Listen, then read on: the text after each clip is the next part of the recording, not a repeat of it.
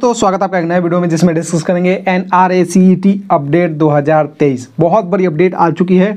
एक देश, एक परीक्षा। जैसा कि आपको स्क्रीन पे दिखाई दे रहा है कि अगले साल से ग्रुप बी और सी पदों के लिए कॉमन टेस्ट होगा।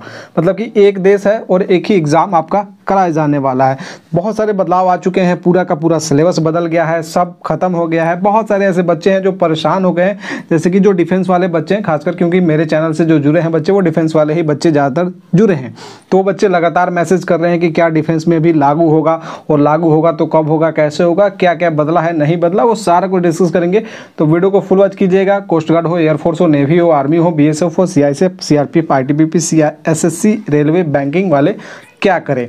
क्या सिलेबस बदला है? कैसे? क्या होगा? पूरा का पूरा प्रोसेस बताने वाला हूँ तो वीडियो को फुल वॉच कीजिएगा, थोड़ा सा भी स्किप मत कीजिएगा। अदरवाइज़ आपका डाउट बना रहेगा। तो फटाफट कर दीजिए वीडियो को like and share and channel first time visit किए चैनल कर लीजिए सब्सक्राइब बेल आइकन के बटन को प्रेस कर लीजिए। तो चलिए स्टार्ट करते हैं वीडियो को। लाइक एंड शेयर ज़रूर कर दीजिएगा। एक पॉजिटिव कमेंट ज़रूर करिएगा, ताकि मैं आपको ऐसी अपडेट इन्फॉर्मेशन जो हो, सबसे पहले अपडेट करते रहूँ। ये आपको स्क्रीन पर दिखाई दे रहा है सरकारी नौकरियों के लिए योग्यता परीक्षा अगले साल जितेंद्र सिंह ने लिखा है। नई दिल्ली देख सकते हैं, केंद्र सरकार सरकारी नौकरियों के लिए अगले साल की शुरुआत में पूरे देश में एक सामान्य योग्यता परीक्षा सीईटी का आयोजन करेगी। केंद्रीय मंत्री जितेंद्र सिंह ने कहा, पीएम नरेंद्र मोदी के निजी हस्तक्षेप पर पहली बार हो रही सीईटी की इस अनूठी पहल से केंद्रीय नौकरियों के लिए युवाओं को चुनने में मदद मिलेगी। पहले इसका आयोजन इस साल के अंत में होना तय था। तो आपको स्क्रीन पर दिखाई दे रहा है आपके लिए ताज़ा अपडेट जो है नेशनल रिक्रूट एजेंसी, एनआरए, जैसा कि आपने थंबनेल पर देखा होगा। एनआरए इसका एग्ज़ाम कंडक्ट कराएगी नेशनल रिक्रूटमेंट एजेंसी, राइट? और ये आपका जो आप एग्ज़ाम दीजिएगा ना तीन साल सी स्कोर वैध होगा। ये भी मैं डिस्कस करूँगा कैसे क्या वैध होगा, ओके? अगले साल से ग्रुप बी की जो भी परीक्षाएँ होती है, ग्रुप सी की जो भी परीक्षाएँ होती है कॉमन टेस्ट एक ही कॉमन टेस्ट होगा। अब एक चीज़ और बता दूँ ग्रुप डी का जो आपका एग्ज़ाम होता था, उसको भी ग्रुप सी के अंदर ही इंक्लूड कर दिया गया है। तो डी जैसी भर्ती अब कोई बची ही नहीं है, जो भी ग्रुप बी है और सी है। डी जैसी कोई भर्ती अब नहीं बची है ग्रुप डी की भर्ती को ख़त्म कर दिया गया है। पॉजिटिव पहलू, यहाँ पे आप देख सकते हैं, केंद्र के सालाना डे एक लाख पच्चीस हज़ार समथिंग लाख रिक्त पदों के लिए पचास से ज़्यादा परीक्षाएँ होती है। करीब 2.5 करोड़ आवेदन आते हैं। ओके और मतलब दो करोड़ से ज़्यादा आवेदन आते हैं, ढाई करोड़ के आसपास। नोटिफिकेशन से चयन प्रक्रिया तक 12 से 18 महीने लगते हैं। केंद्र की ग्रुप बी और सी पदों की भर्ती के लिए सिर्फ़ एक कॉमन एलिजिबिलिटी टेस्ट सीईटी होगा। यहाँ पे आप देख सकते हैं मतलब कि सीधा सीधा यही कहें कि अब जितने भी ग्रुप बी और सी की पदों के लिए आपका एग्ज़ाम कराया जाता है ना डिफरेंट डिफरेंट एग्ज़ाम कराए जाते हैं। हर विभाग अपना अलग अलग एग्ज़ाम कंडक्ट कराता है कोई कोई एजेंसी कराती है। अब एक ही एजेंसी एनआरए जो है वो आपका एग्ज़ाम कंडक्ट कराएगी। इसमें आपका सारा एग्ज़ाम यहाँ पे यही कंडक्ट कराने वाली है। और इसको कैसे क्या प्रोसेस होने वाला हो मैं पूरा पढ़ के आपको बताता हूँ राइट चलिए यहाँ से पढ़ते हैं। ओके थोड़ा सा यहाँ पे पेशेंस रखिएगा। चलिए, मैं यहाँ पे नेशनल रिक्रूट एजेंसी एनआरए अगले साल से केंद्र के ग्रुप बी और सी के पदों के लिए कॉमन एलिजिबिलिटी टेस्ट आप पढ़ते रहिएगा। मैं तो पढ़ ही रहा हूँ ओके और इससे भर्ती परीक्षाएँ शुरू करेगा। शुरुआती मई, जून में स्नातक स्तर के कॉमन एलिजिबिलिटी टेस्ट सीईटी से हो सकती है। ये परीक्षाएँ देश के 170 जिलों के 1000 से अधिक परीक्षा केंद्रों में होगी। राइट कहाँ कहाँ होगी? 117 जिलों में, यहाँ पे आप देख सकते हैं 117 जिलों में 1000 से यहाँ पे आप देख सकते हैं सीधा सीधा लिखा है कि सभी जिलों मुख्यालय जो कवर होंगे सीटी स्कोर के आधार पर केंद्र, राज्य, सरकारें, सार्वजनिक उद्यम मतलब कि प्राइवेट क्षेत्र, निजी क्षेत्र में भी भर्तियाँ कर सकेगी। मतलब हमने तो सिर्फ़ आपको कॉम, आपको पता लगा, जैसे कि मैंने आपको बताया कि डिफेंस में क्या लागू होगा, वो भी मैं डिस्कस करूँगा।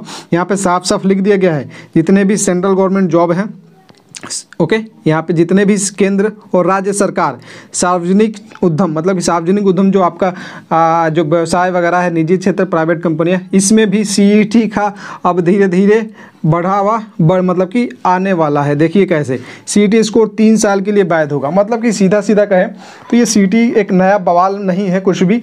एक जैसे कि आपका सीईटी होगा राइट एक सीईटी एग्ज़ाम कराया जाएगा कॉमन एलिजिबिलिटी टेस्ट राइट ये एग्ज़ाम आपका कंडक्ट कराया जाएगा और कंडक्ट कराने के बाद आपका एक ही एग्ज़ाम कंडक्ट कराएगा जो कि आपके लिए ये तीन साल तक वैलिड रहेगा। और ये स्कोर कार्ड ना तीन साल तक वैलिड है तीन साल के बाद फिर से आपको सीईटी देना होगा। अब चलिए मैं इसको डिस्कस करूँगा थोड़ा सा और ये नीचे पढ़ ले हम। सी टी स्कोर तीन साल के लिए वैध होगा।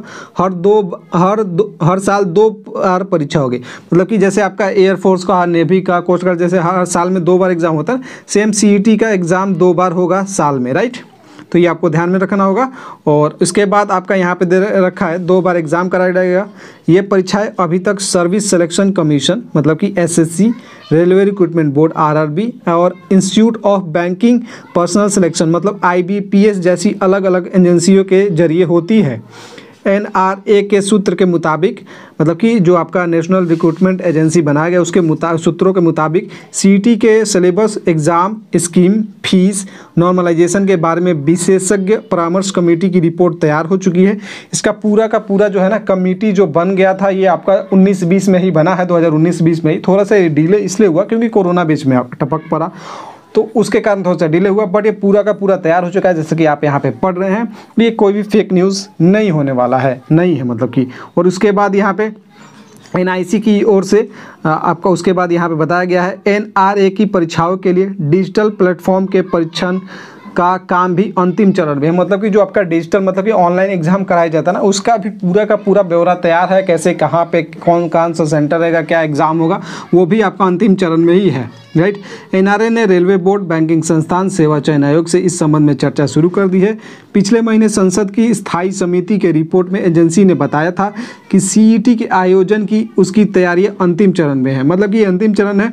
2024 से ये आपका लागू हो जाएगा, लेकिन तीनों स्तर, जैसे दसवीं, बारहवीं और स्नातक। मतलब कि अगर ये आपका देखिए टेंथ का जो टेंथ सी अलग होगा ट्वेल्थ का सी अलग होगा राइट और एक होता है ग्रेजुएशन का। तो ग्रेजुएशन का सी इसमें अलग कंडक्ट कराया जाएगा। तो ये आप तीनों, अगर आप टेंथ पास हैं तो टेंथ वाला दीजिएगा ट्वेल्थ पास है तो टेंथ ट्वेल्थ दोनों दे सकते हैं, और ग्रेजुएशन पास है तो तीनों सी आप एग्ज़ाम दे सकते हैं टेंथ बेस पे जो भी भर्ती आएगा, उसमें आप इसमें रहेंगे एलिजिबल। ट्वेल्थ बेस पे जिस जो भी भर्ती आएगा सी ई क्वालिफाई करने बाद तो इसमें एलिजिबल रहेंगे तीन साल तक, फिर आपको एग्ज़ाम नहीं देना होगा। और ग्रेजुएशन अगर आप आप क्वालिफाई कर जाते हैं तो ये तीन साल तक वैलिड है। ग्रेजुएशन पर जो भी भर्ती आएँगी ओके तो उसमें आप एलिजिबल रहने वाले हैं ओके और ये चीज़ें धीरे धीरे प्राइवेट सेक्टर में भी आ जाएगा, क्योंकि यहाँ पे साफ़ साफ़ लिख दिया गया है। जैसे लिखा रहता है ना, बहुत जगह पे कि ट्वेल्थ पास पे ही भर्ती है टेंथ पास पे ही आईटीआई पे तो वहाँ पे सीधा सीधा लिखा रहेगा कि टेंथ सीईटी पे भर्ती है tenth CET twelfth CET okay? जो भी क्वालिफाई रहेगा वही उसमें एलिजिबल हो पाएगा राइट तो यहाँ पे आप साफ़ साफ़ पढ़े संसद की भी ये रिपोर्ट वहाँ पे पेश कर दिया गया है दसवीं बारहवीं स्नातक। पर एक साथ सीईटी आयोजित करने में उससे पहली बार में आयोजकों की बहुत बड़ी संख्या को संभालना होगा। इसके बाद समिति ने ग्रेजुएट ले, लेवल की सीटी से शुरुआत करने का सिफारिश की है। कमेटी ने जब तक एन आर एस सीईटी शुरू नहीं कर रहा, कर पा रहा है, तब तक रेलवे भर्ती बोर्ड से परीक्षा केंद्र बढ़ाने की सिफारिश की है। अब सीधा सीधा इस पर एक रेलवे का जो ग्रुप डी का जो बच्चे वैकेंसी का इंतज़ार कर रहे हैं ना, उसका वैकेंसी इसीलिए नहीं आ रहा है, क्योंकि ये सी लागू होने वाला है। सीईटी लागू होगा 2024 में ही आपका वैकेंसी आएगा रेलवे का तो ये भी आपके लिए अपडेट है। जो भी बच्चे आईटीआई करके बैठे हैं या फिर जो भी बच्चे रेलवे की इंतज़ार कर रहे हैं कि भर्ती कब आएगा कब आएगा तो रेलवे का भर्ती भी अगले साल ही आने वाला है राइट उसके बाद ये सारा चीज़ हो गया है। ये सब कुछ था। इसके बाद समिति ने ग्रेजुएट लेवल की ये आपको मैंने बता ही दिया, शुरू नहीं कर पा रहा है। तब तक रेलवे भर्ती बोर्ड से परीक्षा केंद्र बढ़ाने की सिफारिश की।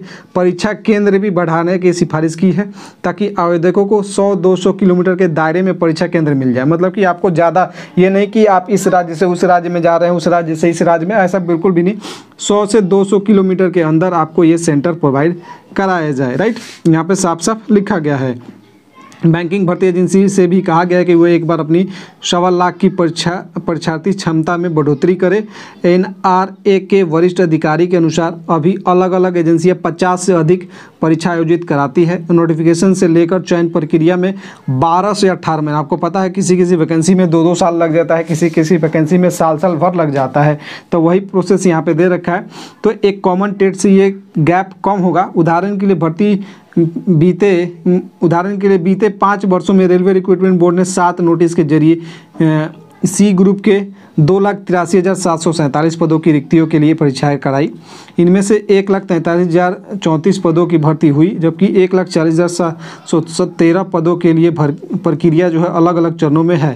उल्लेखनीय है कि केंद्र ने दिसंबर 2020 में भी नेशनल रिक्रूटमेंट एजेंसी की स्थापना की थी। ये 2020 में ही आपका स्थापना हुआ है और अब जाके ये पेपर में आ चुका है। संसद में भी सिफारिश आ गया है। रिपोर्ट पूरा तैयार हो चुका है। पूरा पूरा इसका प्रोसेस तैयार हो चुका है। अब बहुत सारे बच्चे सोचेंगे कि इसमें आ, बहुत सारे बच्चे मैसेज कर रहे थे कि एयरफोर्स ने भी डिफेंस जो है आपका कोस्ट गार्ड है। ओके ये सारे बच्चे बहुत ज़्यादा परेशान हैं बहुत ज़्यादा मैसेज कर रहे थे। तो मैं आपको बता दूँ ये अभी ना अगले साल 2024 से आपका ये आपका अभी इसमें जैसा कि इसमें आया है न्यूज़ में, उस तरीके से बताया जा रहा है। तो ये अभी ग्रेजुएट लेवल पे। तो मैं ज़्यादातर अगर इसमें एलिजिबल भी किया जाए तो टेंथ ट्वेल्थ ग्रेजुएट तीनों आ जाएगा।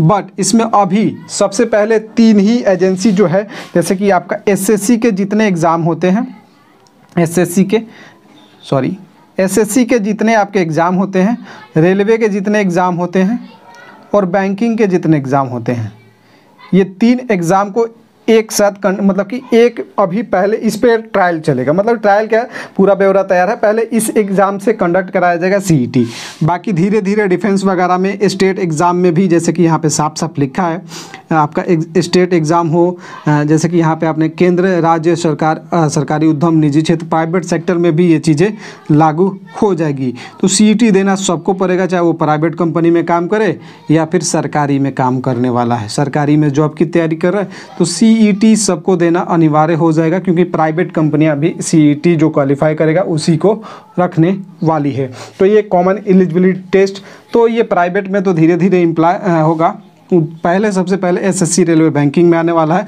उसके बाद धीरे धीरे डिफेंस में भी आ जाएगा। ज़्यादातर वो भर्ती है जिसमें प्री एग्ज़ाम कराया जाता है, जैसे कि एक प्री होता है और फिर मेंस होता है। तो सबसे पहले प्री का प्री को समझ लीजिए, ख़त्म हो गया और प्री के बदले सीधा सीधा आपका, ये आपका सीईटी लिया जाएगा, जो कि कॉमन रहेगा। तीन साल तक का प्री नहीं देना है। एक बार क्वालिफाई करके तो उसके बाद आप डायरेक्ट मेंस दे सकते हैं हर साल ओके तीन साल तक ओके तो ये आपके लिए गुड न्यूज़ है अपडेट है। और बाकी जो भी डिफेंस के बच्चे हैं, चाहे वो कोस्ट गार्ड हो राइट कोस्ट गार्ड हो एयरफोर्स हो नेवी हो आर्मी हो C I C F C R P F जो भी डिफेंस के अंतर्गत आते हैं, वो उनको अभी परेशान होने की ज़रूरत नहीं है। उनमें एक ही एग्ज़ाम कंडक्ट कराया जाता है, ज़्यादातर एग्ज़ाम एक ही कंडक्ट कराया जाता है। और बाकी सी अगर उसमें भी लागू होता है तो आपको वही सिर्फ़ क्वालिफाई करना होगा। उसमें कुछ अलग प्रोसेस इसका सिलेबस भी बहुत जल्द अपडेट हो जाएगा। तो मैं आपको सिलेबस भी लेके आऊँगा। और ये सारा कुछ मैं टेलीग्राम पे आपको प्रोवाइड करा देता हूँ। तो वहाँ पे जुड़ जाइए डिस्क्रिप्शन में लिंक दे रखा है। जो भी अपडेट इन्फॉर्मेशन आएगा, वहाँ पर आपको मिलते रहेगा। मिलते हैं एक नए वीडियो में। वीडियो कैसा लगा ज़रूर बताइएगा। एंड कोस्ट गार्ड वालों को एयरफोर्स वालों को नेवी वालों को अभी डरने की ज़रूरत नहीं है। आप जिस तरीके से तैयारी करते वही करिए। कोई भी अभी इसमें सिलेबस में नहीं चेंज हुआ है। बाकी इस साल के अंत तक आपका ज़रूर ना कोई ना कोई इन्फॉर्मेशन मिल जाएगा। मतलब सिलेबस जो आपका एसएससी रेलवे बैंकिंग की तैयारी कर रहे हैं, उनके लिए सिलेबस चेंज हो जाएगा, जो आपका सीईटी का है, क्योंकि एक कॉमन लेवल पर लेके आया जाएगा right okay common eligibility test के माध्यम से राइट तो वीडियो को फटाफट लाइक कर दीजिए शेयर कर दीजिए एंड कोस्ट गार्ड वाले एयरफोर्स वाले अभी परेशान ना हो नेवी वाले ओके वीडियो के पॉजिटिव एक कमेंट ज़रूर कर दीजिएगा भाई साहब। मिलते हैं एक नए वीडियो में, तब तक के लिए बाय जय हिंद, जय भारत बंदे मातरम।